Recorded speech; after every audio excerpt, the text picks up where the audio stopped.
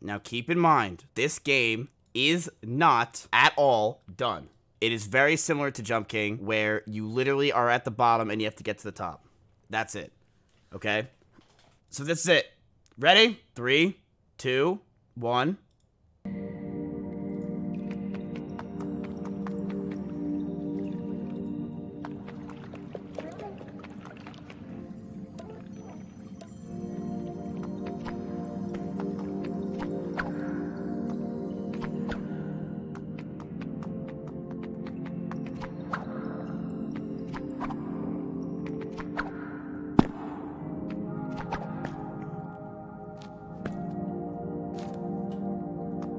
Oh, thanks, chat.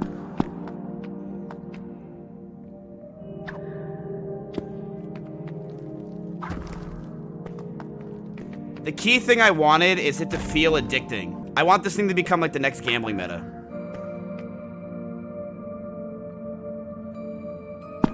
But yeah, keep in mind, none of the animations are running right now. There's no, it's the most bare bones you will see the game.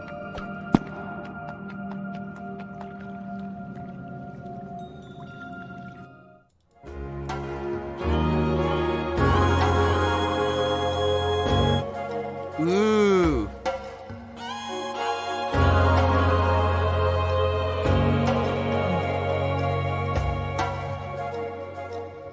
Dude, what do you guys think? I actually think it's a really good job. They killed it. Coaster, Dinah, Strawberry, Sinak did most of the work.